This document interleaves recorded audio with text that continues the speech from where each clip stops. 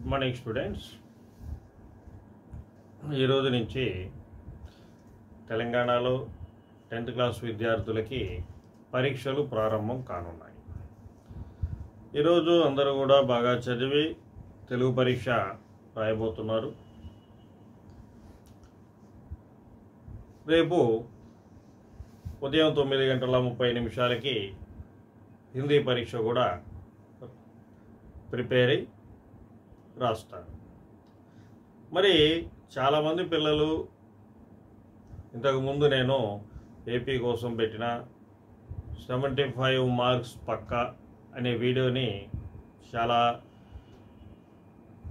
ఇష్టపడ్డారు. అలాగే ఎన్నో కామెంట్స్లో సార్ తెలంగాణ స్టూడెంట్స్ కోసం కూడా ఒక వీడియో చేయండి అని అడగడం జరిగింది. మరి ఇంకొంతమంది సార్ పారాగ్రాఫ్స్ని ఎలా రాయాలి? అని ఇంకొంతమంది అడగడం జరిగింది. సరే ఇది ఏమైనా అసలు పారాగ్రాఫ్స్ ఎలా రాయాలి అనే దగ్గర నుంచి కొన్ని మాటలు ఈరోజు మనం మాట్లాడుకుందాం. చూడండి. నాన్న మనకి ప్రోజ్ నుంచి ఏదైనా అంటే గద్య భాగము అంట గద్య భాగం నుండి పారాగ్రాఫ్ని ఇచ్చి అంటే మన టెక్స్ట్ బుక్ నుంచి ఇవ్వచ్చు బయట నుంచి ఇవ్వచ్చు నానిటేల్ నుంచి ఇవ్వచ్చు ఏదైనా కానీ ప్రోస్ స్టోరీస్ నుంచి ఇలాంటి వాటి నుంచి ఇచ్చే వాటిల్ని మనం గద్య భాగము అని అంటాం. వాటి నుంచి పారాగ్రాఫ్ని ఇచ్చి కింద ఐదు ప్రశ్నలు ఇచ్చి నిమ్నలిఖిత ప్రశ్నों का उत्तर लिखिए అని ఇచ్చాడు అనుకోండి అంటే ఆ- ఆ ప- స్టోరీని ఆ పారాగ్రాఫ్ని చదివి మనం ఆ ప్రశ్నకి జవాబు రాయాలన్నమాట దానికి మనం భయపడాల్సిన అవసరం ఏమీ లేదు అనవసరంగా పారాగ్రాఫ్ చదువుకుంటూ మనం సమయాన్ని వృధా చేయాల్సిన అవసరం అయితే లేనే లేదు అంటే ప్రోస్కి చేయాల్సిన పని కేవలం కీ పాయింట్స్ అంటారు వాటిల్ని. ఒక క్వశ్చన్ ఉందనుకోండి ఒక క్వశ్చన్ ఉందనుకోండి ఆ క్వశ్చన్లో చివరి హైలు క్యాలు క్యూలు ఇలాంటివి మనకు అవసరం లేదు కదా. అలాంటివి మనకి అవసరం లేదు. అంటే ఉదాహరణకి ప్రోస్ దగ్గరికి వచ్చాం టెక్స్ట్ బుక్లో నుంచే తీసుకుందాం. హామీద్ क्या खरीदता है అంటే ఒక పారాగ్రాఫ్ ఇచ్చి ఆ పారాగ్రాఫ్ కింద ఒక క్వశ్చన్ లాగా హామిద్ క్యా ఖరీదుతా హై అని ఇచ్చాడు ఈ క్వశ్చన్కి ఆన్సర్ని మనం కనుక్కోవాలి ఇక్కడ చూడండి క్యా అనే దాంతో మనకి అవసరం లేదు హై అనే దాంతో మనకి అవసరం లేదు ఇక మిగిలింది ఇక్కడ ఏంటి ఓట్స్? హామీద్ ఒకటి మిగిలింది ఖరీదుతా అనేది ఒకటి మిగిలింది. ఈ స్టోరీ అంతా హామీద్ గురించే కాబట్టి మెయిన్ పాయింట్ ఇక్కడ ఏంటి? ఖరీదత. అంటే నువ్వు వెతకాల్సింది ఆ పారాగ్రాఫ్లో ఖరీదత అనే ఓర్డుని మాత్రం నువ్వు వెతకాలి. ఈ వర్డ్ ఎక్కడైతే కనిపిస్తే ఈ వర్డ్ ఎక్కడ నీకు కనిపిస్తుందో ఆ పారాగ్రాఫ్లో ఆ ఆ వర్డ్ ఉండే పుల్ నువ్వు రాసేసాయి. అదే ఆ క్వశ్చన్కి ఆన్సర్. ఇలాగే ఎనీ క్వశ్చన్. ఇలాగే ఎనీ క్వశ్చన్. చాలా ఈజీగా. ముందు నువ్వు చేయాల్సింది ఏంట్రా అంటే పారాగ్రాఫ్స్లో one mark question or two marks question. ఏదైనా కానీ ఒక్క మార్కు ప్రశ్న అయినా రెండు మార్కుల ప్రశ్నలైనా. పారాగ్రాఫ్ క్వశ్చన్స్లో. క్వశ్చన్ నుంచి ఇలాంటి కీవర్డ్స్ని బయటికి తీసుకో. రెండు కీవర్డ్స్ని every question keywords underline underline చేసుకొని ఆ పారాగ్రాఫ్లోకి వెళ్ళి ఈ కీవర్డ్స్ని ఎదుకు అక్కడ. అలా వెతికితే ఆ కీవర్డ్స్ ఉండే ఆ ఫుల్ స్టాప్లే ఆ లైన్లే ఆ ప్రశ్నకి జవాబు. అప్పుడు ఒకటో క్వశ్చన్ రెండో క్వశ్చన్ మూడో క్వశ్చన్ అని ఆన్సర్ పెట్టేసుకొని చక్కగా మన ఆన్సర్ షీట్లో రాసేసుకోవచ్చు అనమాట అర్థమైందా పిల్లలు? నెక్స్ట్ పోయిట్రీ దగ్గరికి వెళ్తే ఇక్కడ మనకి పోయిట్రీలో ఒక పోయం ఇస్తాడు. ఒక పోయం కావచ్చు రెండు పోయమ్స్ కావచ్చు మూడు పోయమ్స్ కావచ్చు ఎన్ని పోయమ్స్ అయినా ఆ పోయమ్స్ కింద అయితే మాత్రం ఒక ఐదు ప్రశ్నలు అయితే ఇవ్వడం జరుగుతుంది. ఆ ఐదు ప్రశ్నలకి జవాబు ఎలా రా నాన్న ఇక్కడ మీరు బాగా గుర్తుపెట్టుకోవాల్సిన విషయం ఏమిట్రా అంటే పొయిట్రీ నుంచి ఎప్పుడైనా పోయం ఇచ్చి కింద ఐదు ప్రశ్నలు ఇచ్చినప్పుడు తప్పకుండా మనం నేర్చుకోవాల్సిన మొదటి ప్రశ్నకి జవాబు ఏంటంటే పొయిట్రీ లెసన్స్లో ఏ ఏ పాఠానికి కవి ఎవరు? అంటే కవి కా నామ్. కవి పేరు తప్పకుండా నేర్చుకోవాలి. ఎందుకంటే ఇది పారాగ్రాఫ్లో దొరకదు కదా.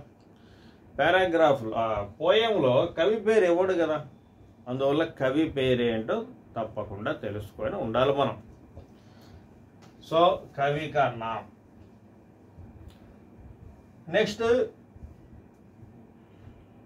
క్వశ్చన్స్ అడిగినప్పుడు ఆ క్వశ్చన్కి తగ్గట్టుగా జవాబు రాయాలి.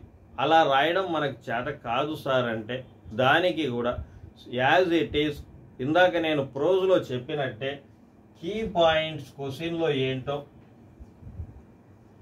టిక్ పెట్టుకోండి. టిక్ పెట్టుకోండి. ఉదాహరణకి ఇక్కడ నేను చెప్తాను చూడండి మీకు.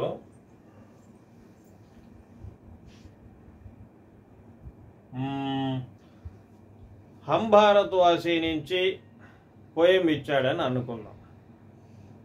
లేదు బరస్తే బాధల నుంచి పోయం ఇచ్చాడని అనుకుందాం బరస్తే బాధలు అంటే తెలుసు కదా మొదటి పాఠం బరస్తే బాధల నుంచి పోయం ఇచ్చాడు పోయం ఇచ్చి సెకండ్ పోయము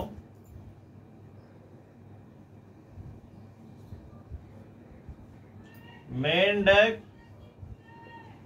कैसे आवाज करते हैं అని క్వశ్చన్ అడిగాడు నన్ను.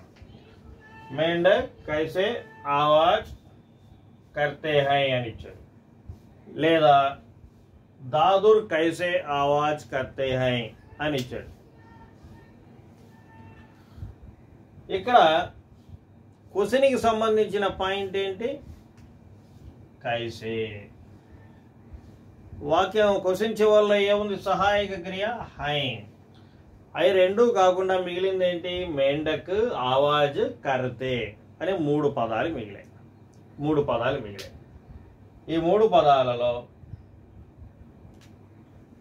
కీ పాయింట్గా మీరు పెట్టుకోండి. మెండక్ ఆవాజ్ కర్తే. ఈ కరతే అనేది ఎక్కడెక్కడ ఉందో గమనించండి. అంటే ఇక్కడ నాలుగు రకాల జంతువులు నాలుగు రకాల సౌండ్స్ చేస్తాయి.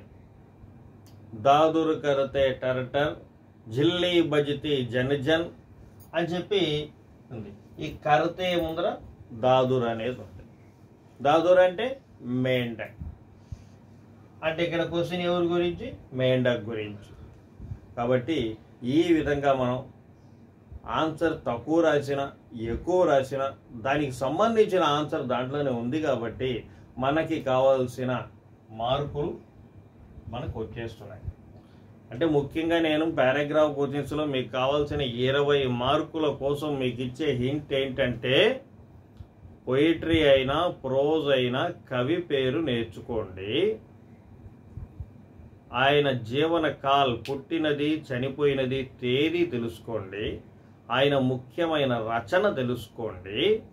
నెక్స్ట్ మొదట ప్రశ్నలు చదవండి.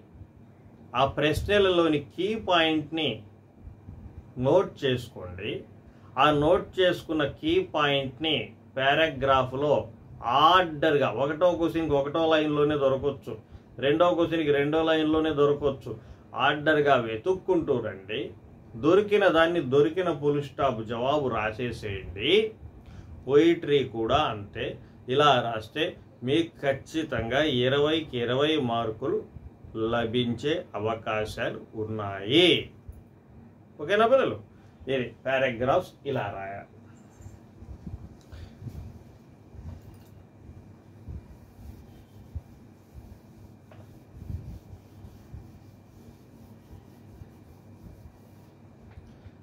Next four marks questions.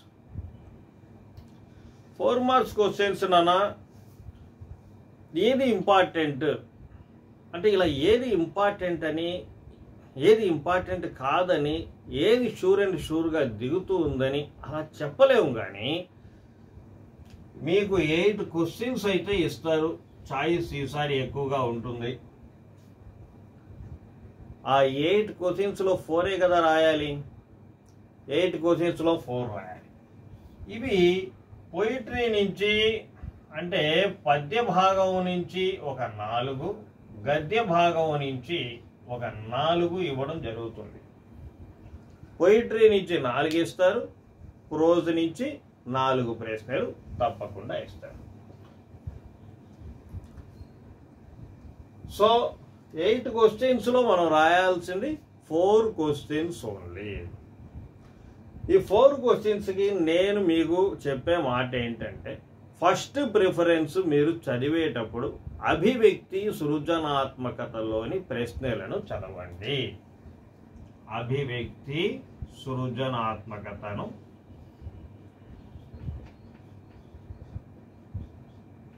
అభివ్యక్తి సృజనాత్మకత. ఇట్లా ఏంటి? ఆ అని చెప్పి ఒక టూ క్వశ్చన్స్ ఉంటాయి. ఆ అని. ఆ ఒకటి రెండు ప్రశ్నలు తర్వాత ఈ అనే ప్రశ్న. వీటిపైన ఎక్కువగా ఫోకస్ చేయండి. అభివ్యక్తి సృజనాత్మకత దాని తరువాత అర్ధగ్రాహ్యత ప్రతిక్రియ.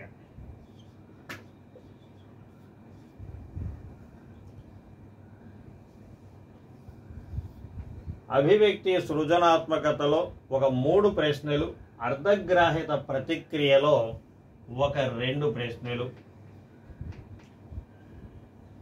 ఇవి చదివితే మీరు ఖచ్చితంగా ఈ ఎయిట్ క్వశ్చన్స్లో ఫోర్ క్వశ్చన్స్ని ఫోర్ కన్నా ఎక్కువే. నాట్ ఓన్లీ ఫోర్ అభివ్యక్తి సృజనాత్మకతలో వన్ టూ ఈ అర్ధగ్రాహిత ప్రతిక్రియలో వన్ టూ ఇవి చదివితే ప్రతి పాఠం నుండి కూడా ఈ ఎనిమిది ప్రశ్నలలో నాలుగు కాదు నాలుగు కన్నా ఎక్కువ ప్రశ్నలనే మీరు మీకు తెలిసిన ప్రశ్నలు క్వశ్చన్ పేపర్లో ఉండే అవకాశం ఉంది. కాబట్టి వీటిని చదవండి.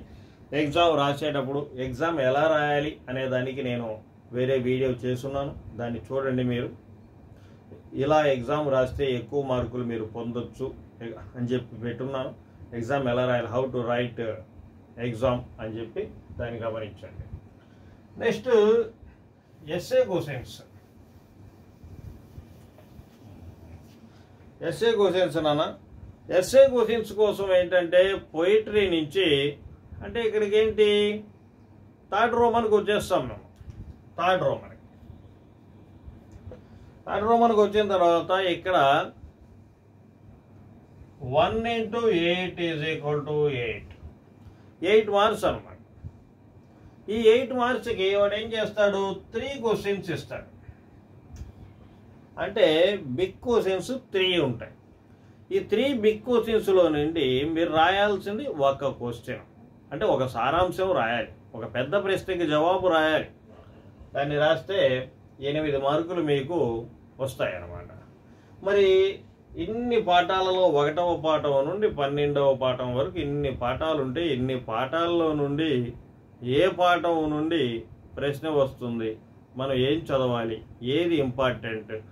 అని మనకి డౌట్ వస్తుంది. ముఖ్యంగా మ్యాక్సిమం మీ టోల్ లెసన్స్లో నుంచి ఇప్పుడు చూడండి మీరందరూ కూడా వన్ టు ట్వెల్వ్ లెసన్స్ దీంట్లో హాఫ్ లెసన్స్ అంటే సిక్స్ సిక్స్.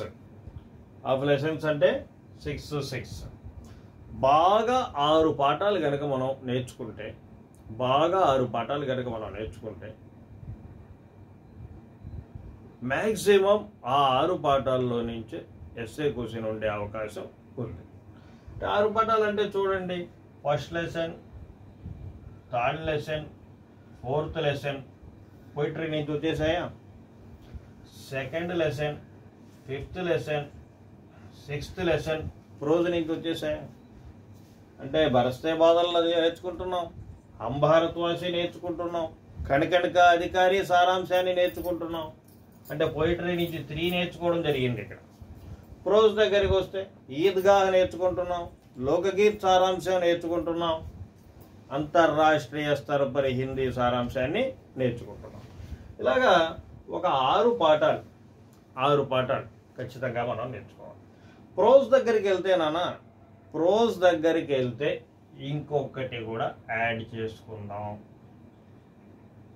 స్వరాజ్యకి నీవు.